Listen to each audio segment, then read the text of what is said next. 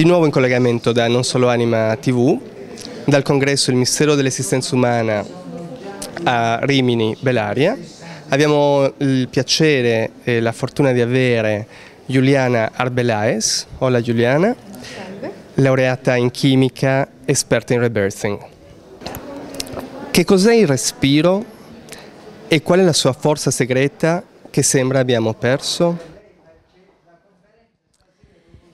Per me il respiro è il ponte che unisce l'invisibile alla materia ed è, ha ehm, la capacità di portare quello che noi abbiamo nell'intelletto al corpo. Per cui quando noi facciamo, eh, penso tanti di noi hanno fatto dei processi di mh, psicoterapie varie, arriviamo alla comprensione intellettuale del problema che abbiamo, ma non lo riusciamo a risolvere.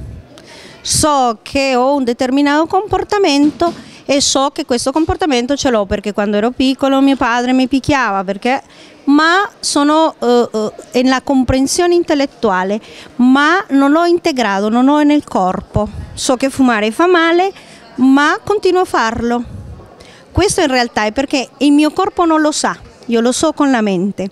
Allora, la proprietà del respiro è quella di portare, di unire la mente al cuore. La vita poi, è il primo atto che facciamo quando, quando veniamo al mondo è respirare ed è l'ultimo quando lasciamo la terra. Quali sono i blocchi del respiro più comuni? Quali esperienze in quale età particolare della nostra vita ci possono bloccare? Il primo grande blocco che noi abbiamo con il respiro è nel momento del taglio del cordone umbilicale, quando noi veniamo al mondo non viene rispettato in nessun modo il, la, la placenta ha un battito, questo battito dura anche per due ore perché noi continuiamo a essere alimentati dal, dal, dal, dalla placenta. E nel momento in che questo viene tagliato senza rispettare il ritmo naturale noi facciamo il primo blocco grande del respiro perché prendiamo una ispirazione che diventa molto dolorosa. E invece di essere una ispirazione eh, dolce eh, eh, pro, pro, pro, come si dice in, in italiano? Eh, ehm, progressiva è una respirazione violenta che brucia eh, i nostri teneri polmoni. Per cui quando noi bruciamo i polmoni eh, sentiamo dolore e pensiamo, facciamo anche il primo pensiero che non è a livello intellettuale ma energetico e pensiamo che la vita è difficile e accorciamo il respiro. Mano a mano che cresciamo ogni trauma che noi viviamo, ogni, eh, ogni volta che mia madre mi urla e mi manda in camera, io faccio blocco il respiro. Noi blocchiamo il respiro per non sentire, blocchiamo l'emozione. Ma l'emozione è quello che mi dà il collegamento con il pensiero. Per cui noi abbiamo, creiamo una, una rottura, un cortocircuito tra il respiro e l'emozione. No, respiriamo sempre di meno per sentire sempre di meno.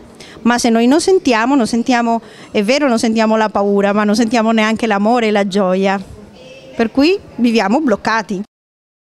Come il modo di respirare può influenzare la propria vita sessuale?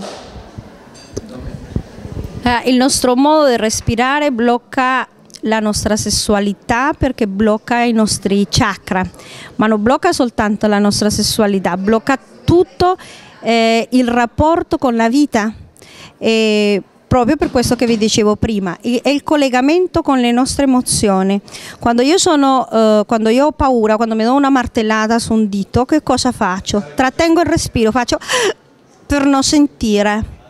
Quando siamo felici e emozionati, respiriamo allora, la, respira la respirazione, la sessualità, la sessualità che già è bloccata per una quantità di pensieri religiosi, culturali, sociali, per cui è, è, è, bloccata sui primi due chakra, è un piacere sostenuto solo ai primi due chakra per una quantità di pensieri, teniamo conto che il pensiero diventa emozione, E se la emozione è collegata al respiro, quando blocco il respiro, blocco la emozione, blocco il sentire, blocco la sessualità, ma non solo la sessualità, blocco la mia vita, blocco il mio rapporto con gli altri, blocco la capacità di sentire, di esprimermi e di vivere.